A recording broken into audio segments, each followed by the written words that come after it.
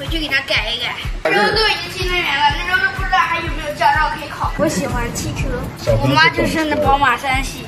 小朋友，哎，现在宝马都开始着重做舒适了，都都都没有这种驾驶乐趣。对的对的。别人都说宝马三系操控牛逼，我感觉还没这玩意舒服呢。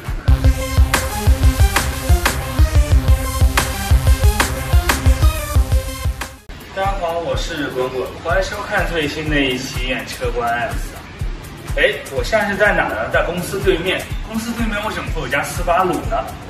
我也很好奇啊。那这边是斯巴鲁位于长丰大悦城的城市品牌形象店，它就开在商场里面，而且整个店的布置和装修和氛围都非常棒，可以说是我在上海见过最牛的一家 4S 店了。你甚至在那边能看到一堆改装轮毂这样的改件。这你受得了吗？那么今天我们的主角是我身边的这台黑色手动挡 STI 版的 BRZ。哎，大家知道我也是 BRZ 的车主，那么我今天为什么又来这边拍一台 BRZ 呢？待会儿就为你介绍。那么今天是二零二三年的八月二十一号，但这个日期并不重要。大家需要知道的是，七月一号开始，全国的国六 A 的车型都不能再上牌。所以说我身边的这台 BRZ，它其实是一辆全新的新古车。什么意思呢？就是它已经完成了缴纳购置税，然后也完成了注册登记上牌的这个程序。但车呢不是新车，而且它所有的售后啊、这些权益啊，都是跟新车一模一样的。包括它也享受质保啊，也享受五年十五次的免费保养，这都是全部是享受的。那么它的价格有什么优势呢？既然说现在是手动挡的 STI 版的含税价格是三十三万出头，自动挡的含税版的价格是三十五万出头，同时这些车辆也是可以受全国的。那我身边的这台 STI 版，它跟普通的 BRZ 又有哪些区别呢？其实呢，STI 版在外观上的区别就一个，是什么呢？翼子板这边的。一个进气口的装饰啊，然后这边会有 STI 的标志。此外呢，当你拉开车门呢，你会发现它还拥有个 STI 的迎宾踏板。我觉得最大的改变是在它的机舱以内啊，如果你把机舱打开的话，三十多万了，还没有一个液压的新感，真的是奇怪了啊。大家能看到这个 STI 的 V 型顶坝。同时呢，还有个看不见的地方，你就要把底盘侦查清楚，是什么呢？后平衡杆。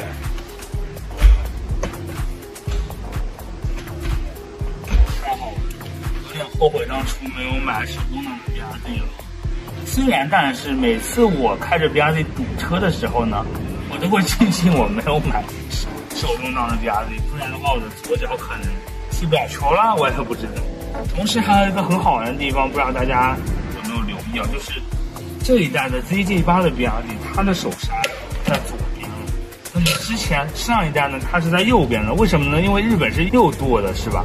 所以说它手刹的位置也是根据左舵去进行了调整。好处呢是你拉放手刹的时候更方便了，坏处呢就是你不能像以前一样趁着拉手刹的时候去。